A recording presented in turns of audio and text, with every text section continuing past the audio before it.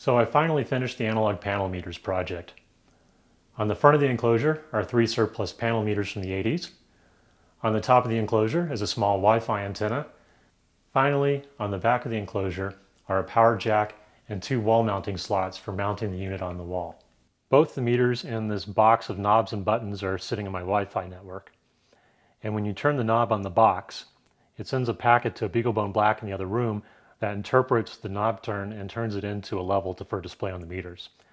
So I'm going to push the button to select the first meter, turn the knob, and then you can see the first meter is now moving up and down as I turn the knob uh, right and left.